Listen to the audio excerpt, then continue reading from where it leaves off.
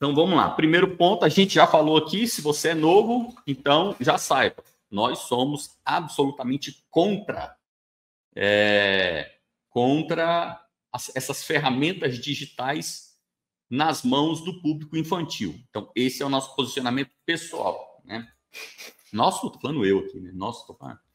Meu posicionamento pessoal, sou contra ferramentas digitais aí na mão da molecada, sou contra.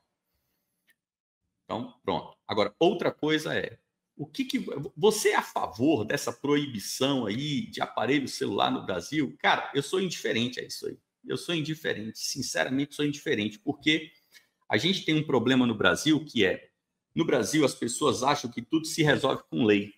Tudo é lei, cara. Então fica essa assim, Fernando, o que, que você acha? É, é, lá, Fernando, você é a favor? Fernando, você vai clicar sim ou não, né? Diga, caro eleitor, o que você pensa sobre. Isso é uma palhaçada. Você não resolve esses problemas com lei, porque o problema do, do aluno brasileiro, da criança brasileira, não é o celular. O problema da criança brasileira é que ela vive num ambiente de idiotia tal é, que ela está totalmente impedida de acessar o saber. E ela está impedida não por ferramentas tecnológicas, ela não tem as suas necessidades é, é, intelectuais mínimas para acessar um conhecimento desse. Então, se você falar assim, uma criança brasileira hoje consegue ler o, o, o, o Bom Ladrão do Fernando Sabino, né, que é um livro, é, assim, é um livro básico para o aluno na idade aí infanto-juvenil, né? 13, 14 anos, é livro básico. Se você tem 13, 14 anos no Brasil nunca leu O Bom Ladrão, do Fernando Sabino, você já está errado. É igual você ter 30 e nunca ter lido aí é, Ana Karenina. Você está errado.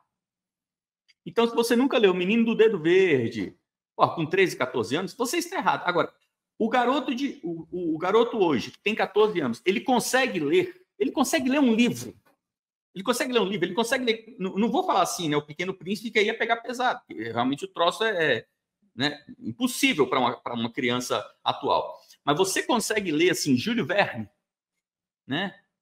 Júlio Verne. A pessoa não consegue ler Júlio Verne. Então, quando você fala assim, ah, vamos tirar o celular, não, olha, eu acho que eu tendo mais a ser contra do que a favor. Por quê? Primeiro que é impossível tirar o celular nas escolas brasileiras, porque nós vivemos num país, como a gente vai falar na sequência, o país foi dominado pelo crime organizado. Então, a família da minha esposa, por exemplo, é uma família de, né, uma família que trabalha com docência, né? Assim, é, é, é uma família cheia de professores, diretores, bibliotecários, gente que trabalha com, com ensino, né? Tanto público quanto privado. Então tem um, uma parentada toda aí que, que dá aula e que está no meio da, do, do, ensino.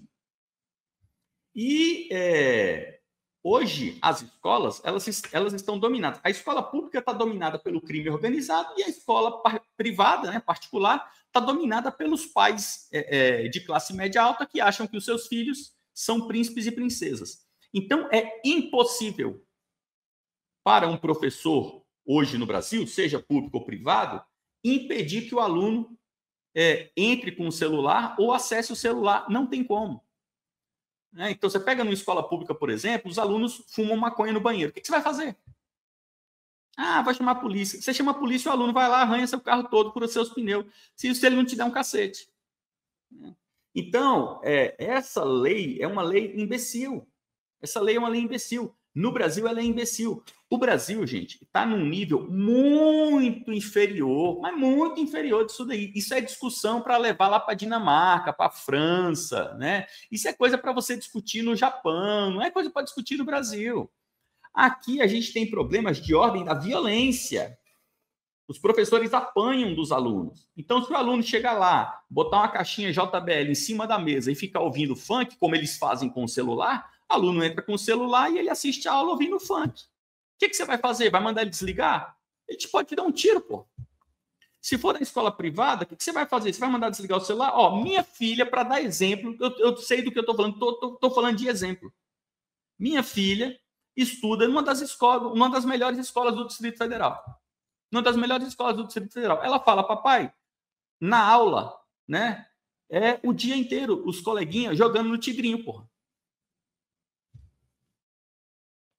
Olha o preço da mensalidade que eu pago. Então, eu pago uma escola caríssima para minha filha estudar, os coleguinhas dele, tudo menino rico, pô. É, moleque é filho de senador, moleque é filho de. É só menino rico, a escola é de rico.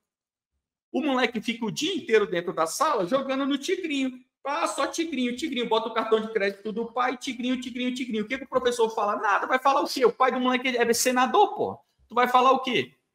O cara, o cara te arranca teu emprego. O professor tá lá de boa, ganhando os 15k dele é, dando aula de biologia, pô. Vai falar alguma coisa? Não tem como. Se é na escola pública, o pai do aluno vai lá e te bate, ou o próprio aluno te bate ou te dá um tiro. Se é na escola privada, o pai vai lá e faz você perder o emprego. Então, essa lei é uma lei que prejudica os professores. Prejudica os professores. Os pais no Brasil, né? Os pais é que tem que pensar sobre isso. O que você pensa sobre isso? Seu filho é imbecil? Seu filho é burro? Por exemplo, seu filho ouve. Que, que tipo de música seu filho ouve? Cara, olha, meu filho mais velho, né? O Matheus, que já tá velho, já, né? Sei por onde anda. Nem sei mais.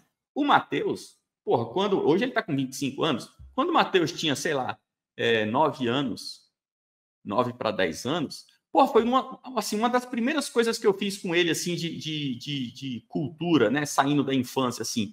Porra, ensinei o moleque a gostar de heavy metal. Primeira coisa, peguei o Matheus e falei, Matheus, Aqui, ó, bora ouvir Judas Priest. Eu lembro até hoje, pô, ensinei o moleque a gostar de música, começando com Judas Priest. Primeira coisa, você vai entender o que, que é música. Fui lá, mostrei para o moleque o que, que é música, o que, que é guitarra, o que, que é bateria, o que, que é percussão, o que, que é vocal, o que, que é não sei o quê. Porra, peguei o moleque, encaminhei o moleque no mundo da música. Porra, vai ver se meu filho alguma vez já parou para ouvir sertanejo, pagode, funk, mas não ouve, cara. Então, são coisas muito simples que você faz com seu filho, que você tira o seu filho do abismo. Você tira o seu filho do abismo ensinando ele, mas poucas coisas, não é assim, nossa, vou fazer um curso como educar filho. Mas que curso, gente? Pelo amor de Deus. Você pega um moleque novo, fala assim, meu filho aqui, ó, você está com oito aninhos, pô, vamos, vamos aqui ler esse livro aqui, ó, pô, vai lá e, e, e, e lê um livro com o moleque, né? Pô, vamos ler aqui 20 mil léguas submarinas. Você muda a vida do seu filho. Pô, meu filho, ó, ouve essa banda aqui, ó, vai ouvir aqui Scorpions. Pô, você muda a vida do seu filho. Agora, o seu filho ouve o quê? Que tipo de música seu filho ouve? Seu filho ouve sertanejo, pagode, é, seu filho ouve essas coisas? Pode saber, seu filho é doente mental. Eu estou falando sério, não estou falando assim, ah, eu entendi o que você quer dizer. Não. Gente, essas músicas causam deficiência mental. É impossível se você tem um filho, uma filha de 18 anos, 16 anos, e ele é pagodeiro, saiba, o seu filho, clinicamente falando, ele tem problemas cognitivos. Isso afeta a moral do moleque, isso afeta a capacidade intelectual do moleque, isso afeta a capacidade de escolhas do seu filho. Ele vai ser guiado pela sensualidade. Não estou falando de coisa religiosa, não. Ah, e daí que o moleque é guiado pela sensualidade? Não estou falando de pecado, coisa religiosa. Estou falando disso, não. Estou falando que isso prejudica a vida do seu filho. Seu filho tomará decisões erradas na vida, ele será infeliz será infeliz. Não deixe isso, pô.